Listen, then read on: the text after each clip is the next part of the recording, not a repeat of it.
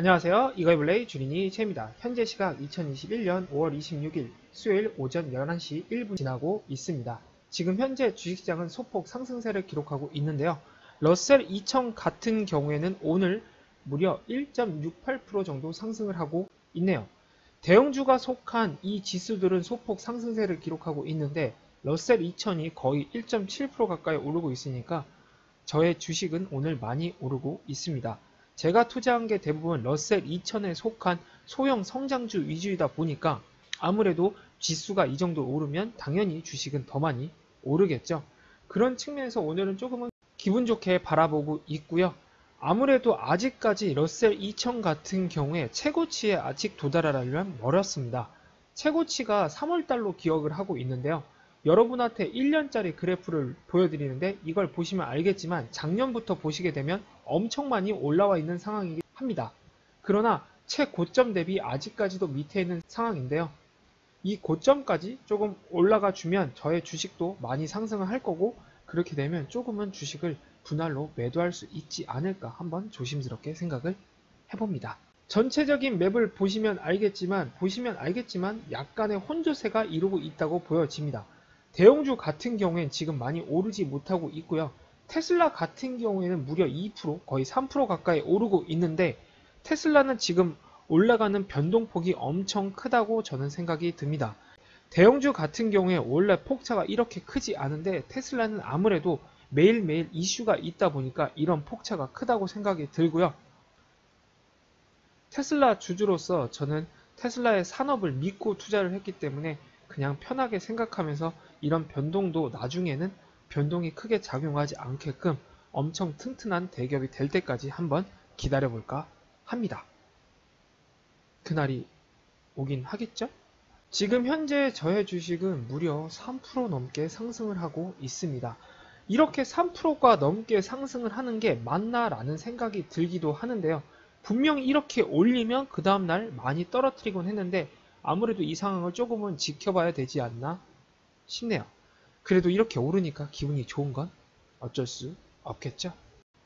개별적인 주식으로 보시면 지금 차지포니트와 블랙베리 같은 경우가 엄청 많이 오르고 있습니다. 블랙베리 같은 경우에 아까 10% 넘게 오르기도 했는데 아무래도 블랙베리는 지금 게임스탑, AMC와 관련돼서 또 레딧과 관련된 문제인지 이렇게 상승을 하고 있다고 보여집니다. 오늘 게임스탑과 레딧 같은 경우에도 10% 넘게 20% 가까이 상승을 하고 있는 것으로 판단이 되어지는데요. 그런 측면에서 보자면 이게 또 레딧에서 장난을 치는 게 아닌가 한번 생각을 들게 하네요.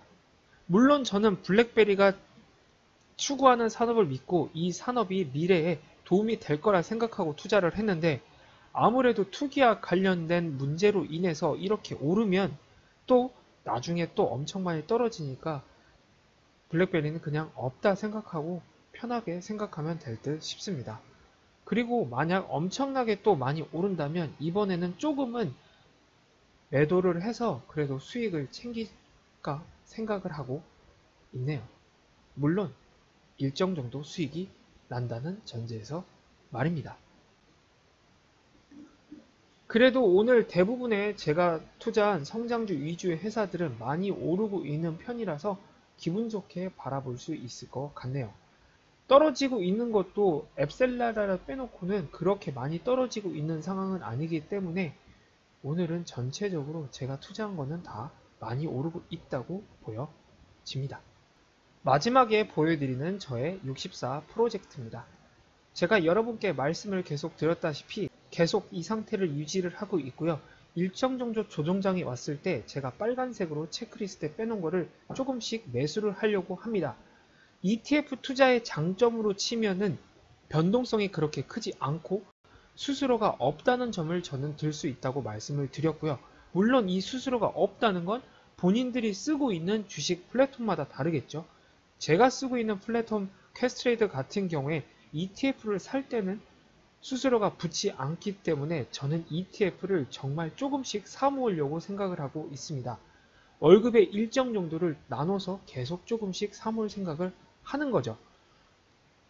그러나 무조건 일정 정도를 계속 사기보다는 아무래도 조금의 하락세가 왔을 때 투자하는 게 투자하는 입장에서 마음이 편할 거란 생각이 들기 때문에 그렇게 조금씩 계속 투자할 생각을 가지고 있습니다. 뒷장 역시 아직까지 계속 그대로고요. 어제 같은 경우에 제가 앞장에서 BOTG 로보틱스와 관련된 회사에 투자를 했습니다. 이 회사 외에도 여러 ETF들 지금 빼놓은 걸 보실 수 있는데요. 이 ETF들도 시간을 두면서 조금의 하락장이 온다면 계속 조금씩 매수를 할 생각입니다. 가치주와 관련돼서는 지금 두 군데밖에 빼놓은 게 없는데 몇 군데 더 생각하는 회사가 있고 조만간 더 체크리스트로 여기에 제가 따로 표를 만들 겁니다. 그리고 이 가치주와 관련된 곳은 제가 성장주 투자한 데에서 일부 매도를 해서 수익을 얻은다면 그 수익을 가치주에 투자하려고 생각을 하고 있습니다. 그렇게 되면 성장주가 오른 만큼 가치주도 같이 투자하게 되면서 가치주에 투자한 돈은 제가 수익으로 난 투자한 거기 때문에 마음 편하게 더 볼 수 있다는 생각이 들어서 그렇게 투자할 생각을 가지고 있습니다. 어떻게 변할지는 조금 시간이 지나면 여러분께 더 보여드릴 수 있지 않을까 싶네요. 그러기 위해서는 저의 주식이 다시 상승세를 얻어야겠죠? 그래야 제가 주식을 팔 수 있을 테니까요. 그때까지 한번 기다려 보자고요. 결과는 보시면 압니다. 수요일 현재 주식시장은 소폭 상승세를 겪고 있습니다. 다만 러셀 2000 같은 경우에 많이 오르고 있는데요. 저처럼 성장주 혹은 소형주에 투자하신 분이라면 오늘은 많이 기분이 좋지 않을까 개인적으로 한번 생각을 해봅니다. 이런 쪽이 많이 떨어져 있었는데 오늘 많이 올랐으니까 다들 이렇게 기분 좋게 바라볼 수 있지 않을까 생각이 들고요. 한편으로는 기다리면 오른다 라고 생각이 들기도 합니다. 여러분들도 많이 마이너스가 있더라도 기다리면 오르죠. 이렇게 한 번 오르고 다시 떨어지고 또다시 오르고 또다시 떨어지고 반복을 할 텐데 예를 들어 3% 오르고 1% 떨어지고 3% 오르고 1% 떨어지면 어찌됐건 4% 오른 거니까 그런 생각으로 조금은 마음 편하게 계속 기다리다 보면 어느 순간에는 여러분이 원하는 목표에 다다르지 않을까 생각을 해봅니다. 무조건 기다리면 오른다고 생각이 드실 수도 있지만 분명히 힘든 시간도 있습니다. 그러니 여러분이 투자하시거나 아니면 투자하신 회사에 대해서는 이 회사의 가능성에 대해서 꼭 생각을 해보시고 투자를 해야 하는 시점이라고 저는 조심스럽게 말씀을 드려 봅니다. 끝나기 전에 저의 개인적인 말씀을 한번 드려볼까 합니다. 제가 영상을 제작하는 의도는 저의 일기를 작성하는 겁니다. 글을 쓰는 건 제가 자신이 없기 때문에 저의 주식 투자가 어떻게 되었고 이날 하루는 어떻게 흘러가는지에 대해서 그냥 톡백을 하는 겁니다. 그러니까 꼭 영상을 보실 때 마음 편하게 봐주셨으면 좋겠다는 의미에서 이렇게 끝나기 전에 한번 말씀을 드려 봅니다. 정말 마음 편하게 저의 영상을 봐주셨으면 좋겠네요. 오늘 영상은 이렇게 간단하게 마치고요. 저는 내일 또 다른 주식시장과 또 다른 뉴스를 가지고 여러분과 찾아뵙겠습니다. 지금까지 이거이블레의 주린이 제이였고요. 구독과 좋아요는 아시죠? 감사합니다. 그럼